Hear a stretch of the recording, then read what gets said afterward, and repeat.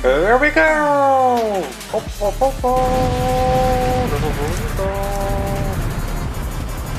Forkmasters vlog in gameplay!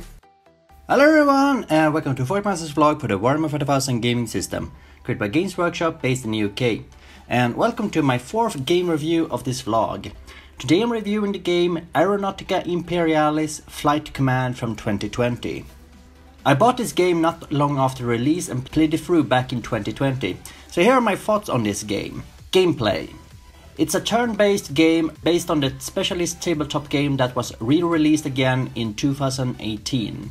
In the campaign, you play as the humans against Orks, where you create a squad for each playthrough, and you get a few randomized pilots to pick and choose from. They are all equal until you start playing with them and they receive experience. When playing, you can pick through three difficulty settings, where you can decide if you want to play a long or a short campaign. After that, in each new mission you get to pick one out of two options. The options include Patrol, which is regular skirmishes, Ambush, which is a playstyle where you divide your pilots to attack from two sides, Bombing Run, where you use marauders to bomb out an Ork convoy or base, Escort, protecting marauders from being destroyed by the enemy, Transport, protect, direct and land Arvus lighters to drop zones to attack Ork ground forces. Personally, it's a favorite of mine, but it's hella difficult to play it. And lastly, intercept, where you are going in to destroy enemy Ork bombers.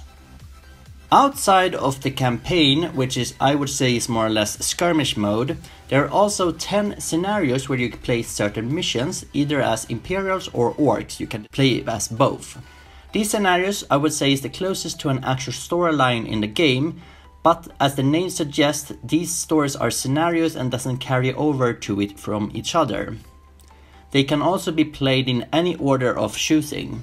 No more DLC is planned as it looks at the moment, but there's been one DLC pack so far called Skull Packs. There are a few maps that are recurring scenery. There are snowy mountains, desert mountains, or green valleys, all in different shapes and sizes.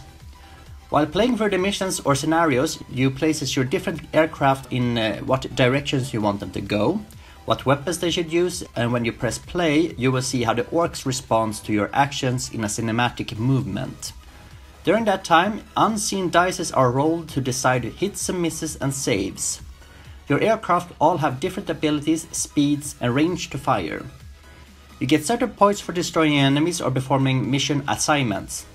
A victory will give you points towards ending the campaign, and losing will take away points. My biggest gripe with this game is the camera movement. It's so crappy and frustrating that I lost my temper more than one time. A recurring problem too is that once you moved your pilot, it's super hard to target a certain enemy, so you'll have to target them first before moving them or else you're gonna have some troubles.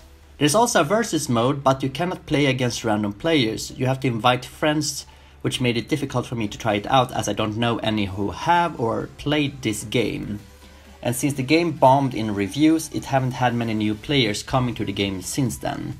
Hence why gameplay will get a 6 out of 10 forks from me.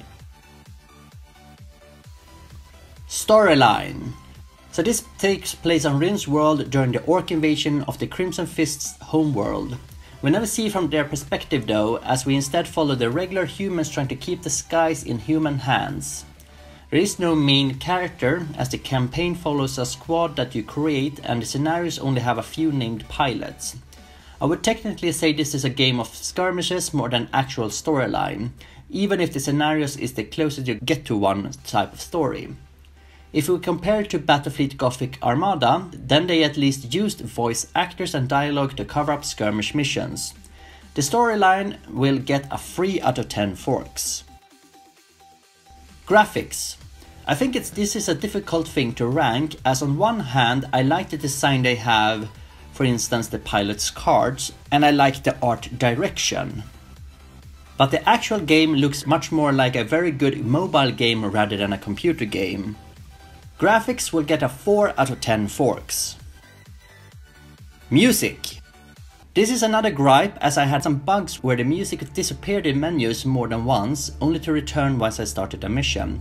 I fixed this in my playthrough video so it would be more pleasant to watch the videos. The music that we hear isn't particularly spectacular or good, it's serviceable at best. The music we get a 4 out of 10 forks. Conclusion This is hard to write as I enjoyed most of my 21 hours of playing through this game, but I cannot for the sake of it recommend it to anybody.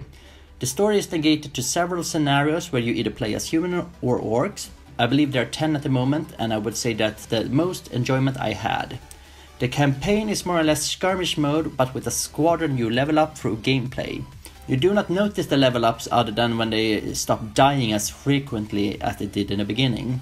I bought this early on and I had some problems with the music disappearing in the menus, which has been fixed in the latest update. You can only play multiplayer with your friends in the current state, so it limits things there.